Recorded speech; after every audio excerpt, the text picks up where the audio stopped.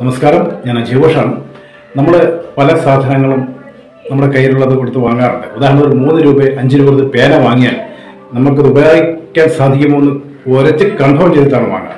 ഇരുപത് രൂപ കൊടുത്തൊരു തേങ്ങ വാങ്ങിയാൽ നമുക്കത് വീട്ടിൽ കൊണ്ട് ഉപയോഗിക്കാൻ സാധിക്കുമോ എന്ന് കൺഫേം ചെയ്തിട്ടാണ് വാങ്ങുന്നത്.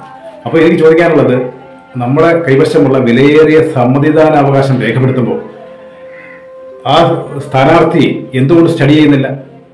ഈ ഇദ്ദേഹത്തിന് ജയിപ്പിച്ചു വിട്ടാൽ നമുക്കോ നമ്മുടെ നാടിനോ എന്തെങ്കിലും ഗുണപ്രദമായ കാര്യങ്ങൾ ചെയ്യുമോ എന്ന് ചിന്തിച്ച് കക്ഷി രാഷ്ട്രീയങ്ങൾക്ക് അതീതമായി ചിന്തിച്ച് ഇനി മുതൽ വോട്ട് ചെയ്യുക. കാരണം ഒരിക്കൽ ജയിപ്പിച്ചു വിട്ടാൽ അടുത്ത പ്രാവശ്യം അവനെ തോപ്പിക്കാൻ വിചാരിച്ചാൽ നടക്കത്തില്ല. കാരണം അധികാരം എന്ന തരം ലഹരിയാണ്. ഒരിക്കൽ അധികാരത്തിൽ അറിയവൻ ഒരിക്കലും അധികാരമില്ലാതെ പിന്നെ അവന് ജീവിക്കാൻ സാധിക്കത്തില്ല. അപ്പോൾ അതിനുവേണ്ടിയുള്ള പണം ഈ അഞ്ച് വർഷം കൊണ്ട് അയാൾ സ്വരൂപിച്ചിരിക്കും.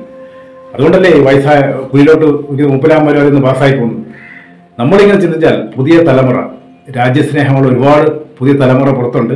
അവർ ഈ രാഷ്ട്രീയത്തിലേക്ക് കടന്നു വരികയും നമ്മുടെ നാടിനെ മുന്നോട്ട് കൊണ്ടുപോകാൻ സാധിക്കുകയും ചെയ്യും എന്ന് പറഞ്ഞുകൊണ്ട് നിർത്തുന്നു.